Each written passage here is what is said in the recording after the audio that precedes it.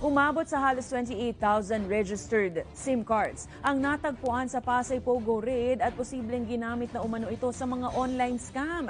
Sa pahayag ni Justice Secretary Jesus Crispin Remulla, lahat ng sangkot sa nasabing Pogo habang unang maharap sa mga kaso sa ilalim ng SIM registration law. Dagdag pa ni Remulla, posibleng kasuhan ng spoofing at misrepresentation ang mga empleyado at mga taong nakarehistro ang pangalan sa nakumpiskang SIM cards. The SIM card Registration Act is supposed to ensure that all of the owners are verifiable and that, they, that, that uh, SIM cards are not used for unlawful purposes. But the, the presence of 28,000 SIM cards is itself questionable already.